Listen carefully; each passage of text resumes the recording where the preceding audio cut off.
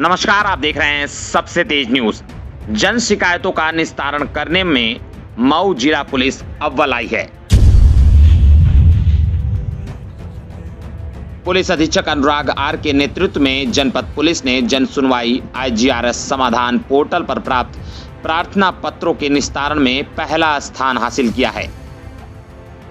थानों पर किए गए शिकायत निस्तारण के उपायों का असर दिखने लगा है। प्रदेश मुख्यालय द्वारा जून में प्राप्त शिकायतों के निस्तारण में जनपद पुलिस ने मुकाम हासिल करते हुए 100 फ़ीसदी अंक हासिल किए हैं। अपराध व अपराधी गतिविधियों पर लगाम कसने में पुलिस अधीक्षक अनुराग आर का कोई सानी नहीं है। लगातार क्षेत्र में भ्रमण के साथ ही उनके द्वारा स्वयं अपने कार्यालय में घंटों लोगों की शिकायतें सुनी जाती हैं। जून माह में पुलिस अधीक्षक कार्यालय पर जनपद के थानों व ऑनलाइन सहित कुल 716 शिकायतें दर्ज हुई। साथ ही लगभग 150 प्रार्थना पत्र उच्च स्तर, यानी कि प्रधानमंत्री कार्यालय, मुख्यमंत्री कार्यालय, डीजीपी कार्यालय, मुख्यमंत्री हेल्पलाइन आदि स्रोतों से प्राप्त हुई। इसमें पुलिस अधीक्षक अनुराग आर के नेतृत्व में जनपद पुलिस ने जन शिकायतों का निस्तारण समय बत्सा से किया। प्रदेश सरकार द्वारा जन शिकायतों के निस्तारण, शिकायतों के निस्तारण में सुधार आदि संदर्भों के त्वरित व गुणवत्ता परक निस्तारण किए जाने के मासिक मूल्यांकन में माह जून में जनपद पुलिस को 100 फ़ीसदी अंक मिला है।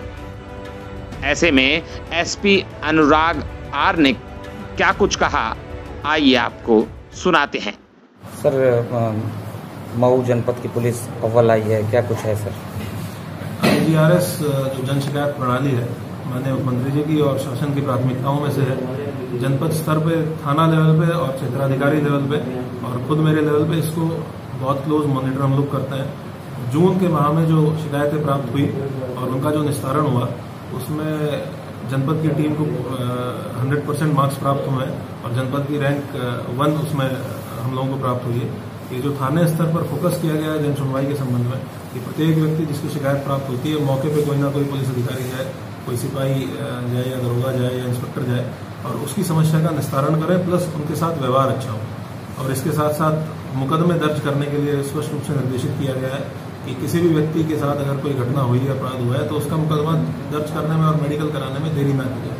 तो इसी का रिज़ल्ट है कि हम लोग जन सुनवाई में लगातार बेहतर प्रदर्शन कर पा रहे हैं और प्रयास ये जारी रहेगा कि जितना बेहतर जन सुनवाई थाना स्तर पे सर्कल स्तर पे और पुलिस अधीक्षक स्तर पे संभावित हो, उससे उसको लगातार बेहतर करते रहेंगे। इसमें एक और जो नई चीज़ इंट्रोड्यूस की गई थी कि सर्कल ऑफिसर जो है, हमारे सीओज हैं, उनको प्रत्येक हफ़्ते में एक एक थाने पे चार घंटे बैठ के और जन सुनवाई करने का निर्देश मेरे द्वारा दिया गया है। इसके भी बेहतर परिणाम हम लोगों को देखने को मिले हैं, क्योंकि अक्सर यह है कि थानाध्यक्ष को अलग अलग सूचनाओं पर जाना पड़ता है तो सर्कल ऑफिसर जब एक दिन थाने पर बैठेंगे तो पब्लिक को अपनी समस्या का निराकरण कराने के लिए जनपद मुख्यालय नहीं आना पड़ता है और एक गजटेड ऑफिसर उनकी समस्या को थाने में बैठ के सुन लेता है और उसका निस्तारण करा देता है। तो पब्लिक के अंदर इससे एक बेहतर विश्वास पैदा होता है कि उनकी समस्याओं का हल निकाला जाए। आपके द्वारा कुछ अपने ऑफ़िस में कुछ अलग ढंग से जो जन सुनवाई है उनको बेहतर स्थान देके माइक द्वारा सुना जा रहा है किस तरह का ये नया प्रयोग किया गया है?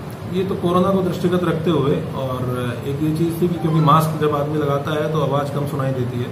तो एक टू वे माइक की व्यवस्था की गई है जिसमें जो आवेदक है वो अपने माइक के सामने बैठ के थोड़ी दूरी पर बैठ के और अपनी बात को कह सकते हैं और मैं भी माइक के ज़रिए अपनी बात को उनको कन्वे कर सकता हूँ उसके साथ साथ एक और व्यवस्था पुलिस ऑफ़िस में जो लागू की गई है कि डेली जो प्रार्थना पत्र आते हैं, पचास से पचपन प्रार्थना पत्र प्राप्त होता है। तो उसमें से दस से पंद्रह प्रार्थना पत्र हम लोग चिन्हित करते हैं, जो अत्यंत महत्वपूर्ण है और उनकी मॉनिटरिंग अलग तरीके से की जाती है। प्रतिदिन लेवल पे उनकी मॉनिटरिंग करते हैं।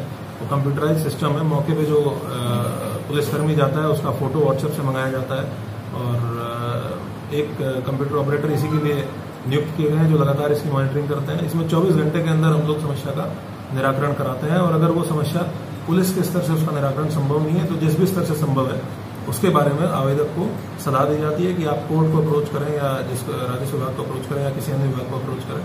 तो ये सिस्टम भी हमारा अभी फंक्शनल है और इसको और बेहतर लगातार करते हैं।